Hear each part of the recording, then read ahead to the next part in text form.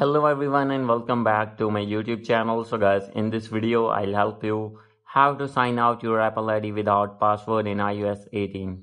So guys, if you're using iPhone or iPad or other iOS device and want to remove your Apple ID but you have forget your password, I'll help you how can you remove your Apple ID without password.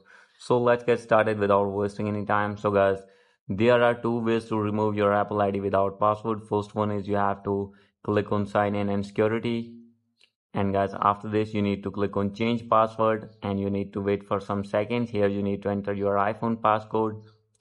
And guys now you will see the option of change password. Here you need to enter your new password and verify your new password and click on change. After this your password will be changed. And guys when require any password to sign out your apple id simply you have to write here your new password. And guys the second and easiest method is you have to click on find my and guys after this here you can see the option of find my iphone. Make sure that you have turn it off. And guys it if it is on you have to make it on off. And guys after this you need to go back. And guys now you will see the option of sign out. Click on it.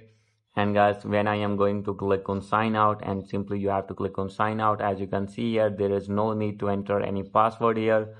As you can see apple id will be removed automatically without entering any password here so guys, these are the possible ways to sign out or remove your Apple ID without password. Hope you like this video. If you like this video, please do subscribe my channel. Thank you.